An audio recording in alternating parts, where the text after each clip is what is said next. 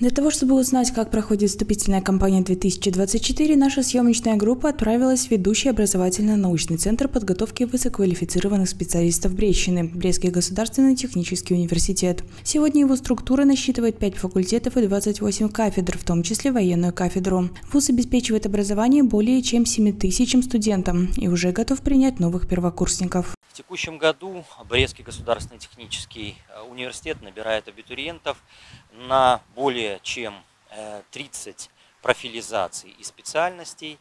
План приема на бюджетную форму обучения э, превысил 650 человек, причем явно доминирует дневная бюджетная форма получения образования и более 600 человек мы принимаем на платную форму получения образования. И здесь уже определенный паритет между а, дневной и заочной. Могу сказать, что на текущий момент мы э, видим большую востребованность практически всех специальностей у абитуриентов, а, как новых специальностей, таких как, например, производство изделий на основе трехмерных технологий, где уже конкурс, хотя еще Э, два дня приема, я полагаю, что конкурс будет еще выше, э, так и классических специальностей, связанных со строительством, а, строительной инженерией, машиностроением, автоматизацией технологических процессов а, и рядом иных. В этом году победители международных и республиканских олимпиад, конкурсов профмастерства имеют возможность поступить в ВУЗ без экзаменов. Для них также был организован отдельный набор с 27 июня по 2 июля. Сегодня мы э, действительно видим и э, изменение качественного состава абитуриентов. Так, в этом году, благодаря корректировке правил приема, э, получили возможность как медалисты поступать без вступительных испытаний в региональные вузы, и мы видим, что уже на отдельных специальностей фактически конкурс среди медалистов на те места бюджетные, которые могут быть согласно правилам приема для них отведены. Также в этом году у нас уже пришли ребята, которые имеют право поступать без вступительных испытаний, являясь выпускниками Национального детского технопарка. Это также отрадно и говорит о том, что а, многие направления подготовки в Брестском государственном техническом а, университете котируются не только среди работодателей, среди которых мы часто видим очереди за выпускниками, но и среди абитуриентов. Фактически все категории еще перечислять рано, потому что на данный момент медалистов э, э, у нас более 50, э, хотя еще, думаю, будет еще больше. Победители Олимпиад университетских, 15 человек к нам подало документы. Это фактически 80% от победителей нашей Олимпиады.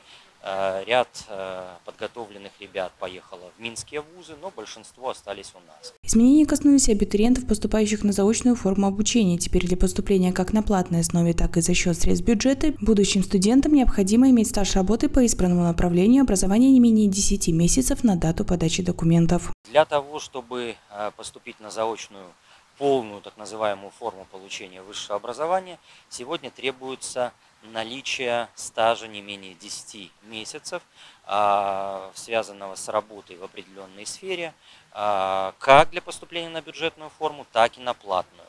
А сегодня мы видим, что, конечно, это определенное ограничение, но достаточное количество абитуриентов уже которые работают, окончили школу ранее, не в этом году, а ранее, соответствуют этим требованиям. И на текущий момент фактически все места, связанные с заочной а, полной формой, бюджетные, они, мы их мониторим э, ежечасно, а, фактически для себя они уже заполнены. Ну и на платную форму я тоже думаю, даже в отдельных случаях будет конкурс.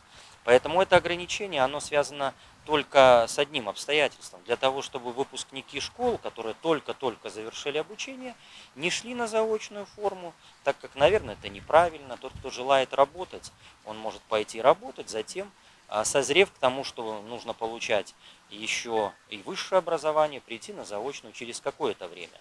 А непосредственно выпускник школы текущего года, конечно же, это правильно, если идет на дневную форму, бюджетную либо платную, получает качественное образование. Из Брестского государственного технического университета ежегодно выпускаются сотни специалистов высокого класса. Они востребованы у заказчиков кадров и умеют работать с современными технологиями. Поэтому неудивительно, что на поступление в ВУЗ выстроилась очередь. На экономический факультет э, специальность логист э, на заочную форму обучения. Я средняя закончила логиста и, получается, выше буду. Да, да, средняя специальная. Машиностроение, э, машиностроительный факультет, э, технология машиностроения. Ну, там, смотря куда пройду. Ну, больше упирался по баллам.